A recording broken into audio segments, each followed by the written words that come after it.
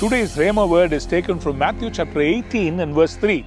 Truly I tell you, unless you change and become like little children, you will never enter the kingdom of heaven. Jesus wanted to speak to his disciples and show them who are going to enter the kingdom of God. And he called a small child near and he said, Whoever wants to be in the kingdom of God, that is in heaven, they have to change like a little child. What is the characteristic of a little child? Little child is always playful, cheerful, doesn't hold grudges in the heart. Even though daddy or mummy beats them, they'll forget it if you offer them a chocolate. Many of the characteristics of the little children are so beautiful.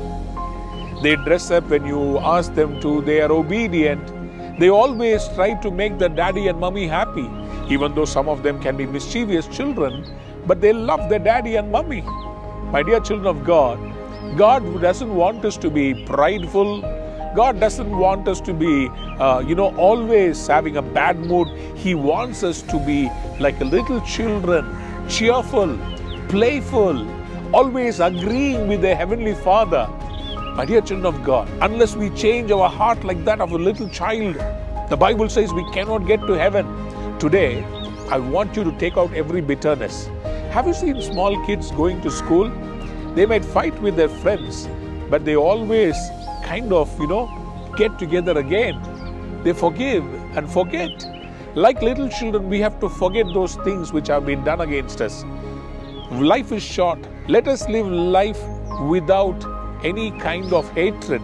Let us love everyone. Let us be at peace with everyone. Let our hearts be like little children because the Bible says, to these children, God gives great revelations. Today, I bless you in the name of God. Empty your heart from all the distress, all the backbiting, all the hurts that you have been suffering. Turn as a little child.